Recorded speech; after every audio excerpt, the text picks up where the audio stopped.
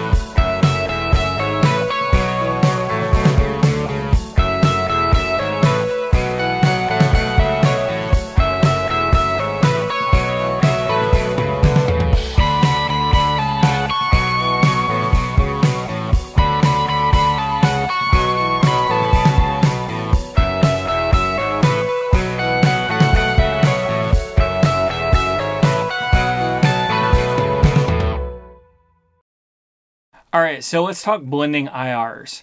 A couple of things to note at the start here. First of all, I'll tell you guys that I'm using a plugin called Mix IR3 from a company called Redwirez. If you've seen some of my previous videos, you know that I'm a huge fan of the Two Notes Wall of Sound plugin, but unfortunately, that plugin doesn't allow us to do what we're going to do today. I'll also say that this video is not sponsored. I have no affiliation with Redwirez. Um, I have just found this software to be really great for doing this for the HX Stomp. Another thing to keep in mind with blending IRs is that you generally always want to combine IRs from the same, you know, maker or same creator. I've tried combining one IR made by one company and one from another company, and it just doesn't work. So, if you have, you know, a bunch of IRs from one person, then I would say try combining those first. Every time I've combined, you know, different makers together, it just doesn't work.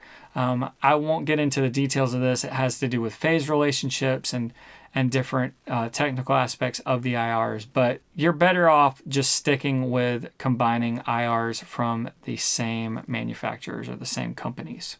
Now, that's not to say that you can't combine IRs of different speaker manufacturers. Say you have a IR that's made from a Celestion speaker and one that's made from an Eminence speaker. You can combine those as long as the manufacturer of the IR or whoever created the IR made both of them together. That will ensure that your phase relationship is correct and that you'll actually be making the sound better and not worse. So let's take a look at MixIR3. I'll explain a little bit about the plugin and how I combine IRs. So I've got a couple of guitars pulled in from the demo we just listened to. Um, it is a picking part that happens during the B section, the middle section, and then it continues uh, through the outro here. Here's our Mix IR3 plugin. I've got some of my IRs that I've created here, and these are what I like to call raw IRs. These are unblended, They are just a microphone on a speaker. And you can see different speaker selections and different mic selections. If you purchase the full IR bundle on my website, you'll get all of these. So we'll start with a classic combination. I'm going to select the Greenback SM57 and then a Greenback Royer 121. So how this plugin works is basically as I drag these IRs over to this side, then I have our volume fader here. We've got a pan control. This is a length control. We also have a global length control over here. Basically how this works is this this allows us to adjust the level of each IR here with this slider. Right now we're hearing equal parts 57 and equal parts Royer 121. Let's listen and see what that sounds like. All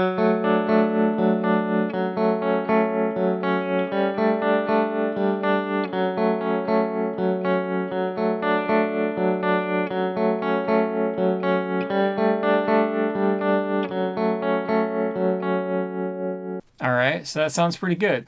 So we'll play it, and I'm going to bring this Royer 121, I'm going to bring it down a good bit. We're going to see how it changes the sound.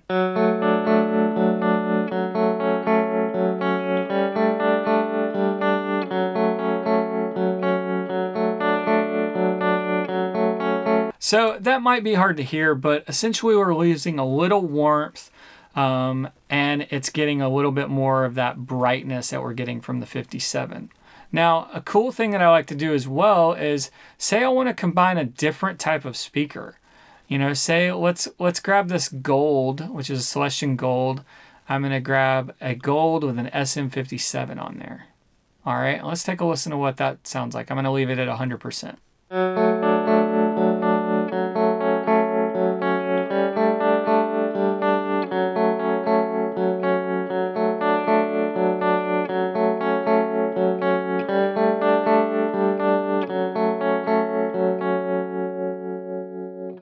That gives us a slightly different character. Now, I will say all of this is super subtle, um, but as you start messing with different speakers and different mic combinations and all of that, you really start to hear you know, the differences, you start to get familiar with how each one changes the sound. And now I want to show you guys one other thing that I really love about the MixIR 3 software, and that is these other bundles that you can buy from Redwirez.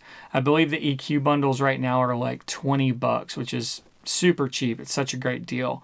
Um, if we go to our MixIR 3 plugin over here, then under IR modules right here, I've got these EQs. Now these are Neve EQ um, impulse responses essentially. So we're going to grab one of these and we're going to pull it over here. If we hit that little gear right there, that pulls up our EQ controls. Now it's essentially like having a Neve EQ on our impulse responses or on our um, mics and you know the speakers. The thing I love about this is that for the HX Stomp or the Helix, we can EQ our IRs and we don't have to do it in the HX Stomp. I've seen guys where they use IRs, but then they'll have to use an EQ block to really tweak the tone. If we know what we want or we have the time to be able to spin and tweak it in Pro Tools or in a plugin like this, then we can just print it that way. And so that we don't have to use another block to EQ our IRs. So here I can put a high pass, put a high pass at 82, We'll put a low pass, which is cutting off our high frequency. So let's put that down to 12K.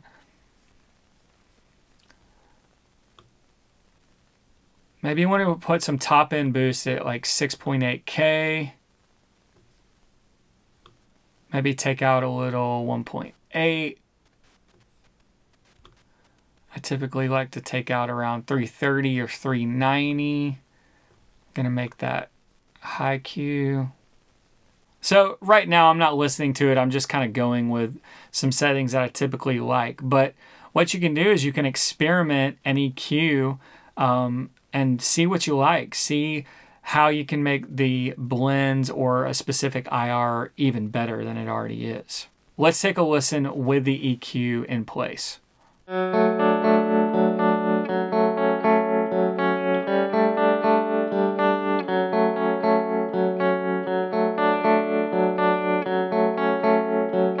Here's it without the EQ. With the EQ.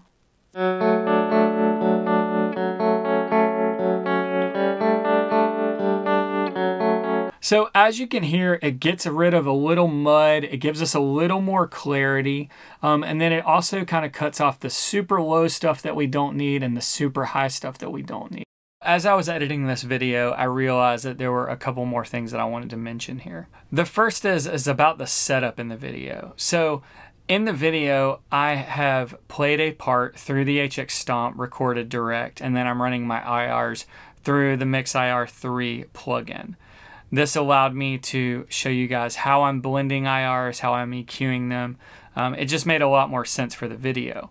But if I was actually, you know, trying to make an IR, I would probably run into the HX Stomp and run it direct and play the guitar while I was tweaking the IRs.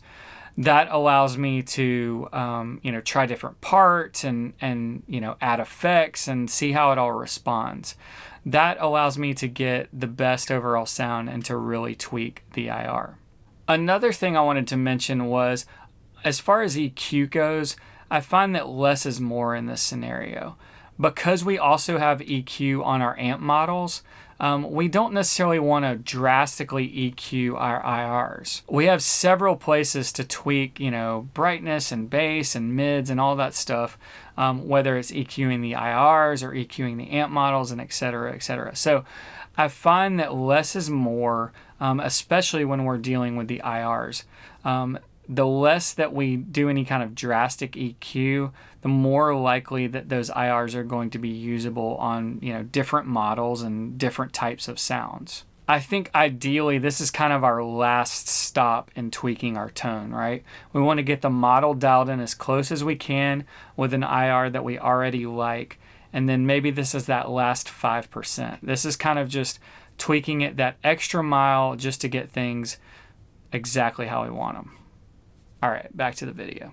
Now, whenever I, you know, land on a blend and an EQ that I want or that I that I like that's working well for me, I can come over here. I go to this little gear over here just to check my settings. Okay, export file wave. Um, we're going to export at 48K. Um, and then this export mode, we're going to want to go to mono here. Even though we are dealing with stereo, I've kept our, um, you know, nothing is panned here with our IRs. And then here is where we export right here, this little folder. So after we've named it and we've exported it, then all we have to do is load it into our HX Stomp and we're ready to go.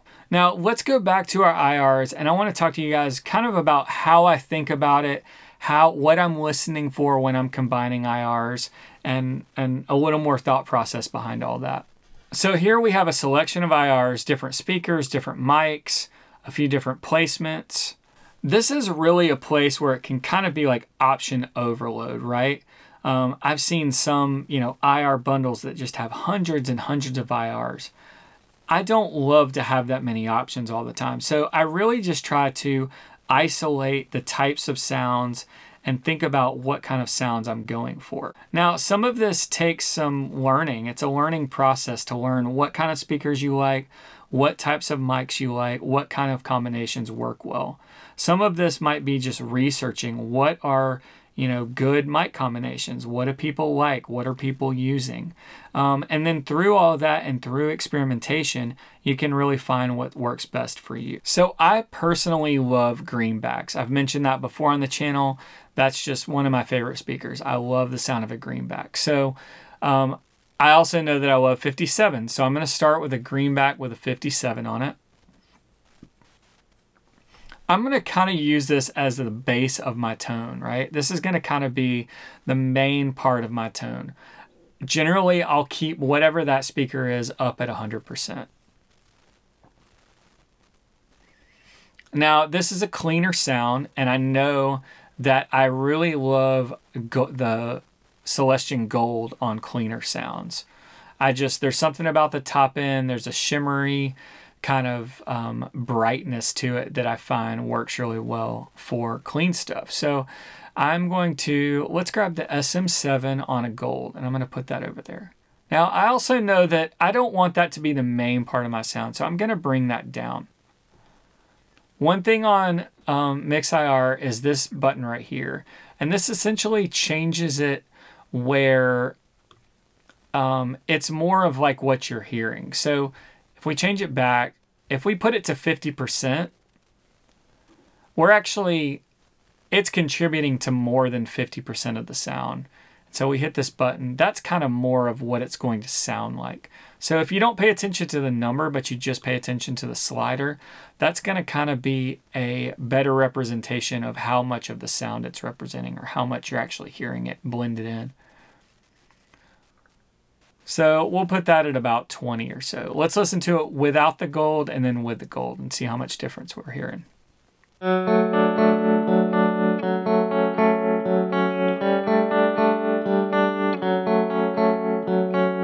So that's without the gold. Here's with the gold.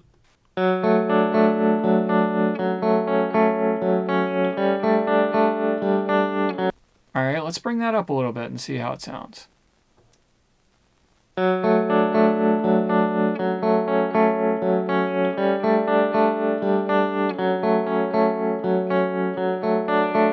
All right, so at this point, I would kind of get a blend or a combination of mics and speakers that I like. And then at that point, I might go grab an EQ to kind of tweak even further. For this specific sound, there's some low mid stuff that I'd like to clean up. Maybe I can shape the top end a little more specifically.